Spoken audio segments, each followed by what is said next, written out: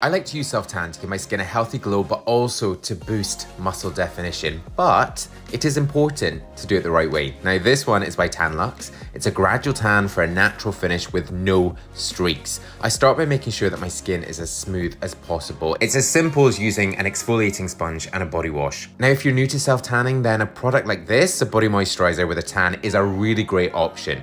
Now, you're gonna work the lotion on in layers.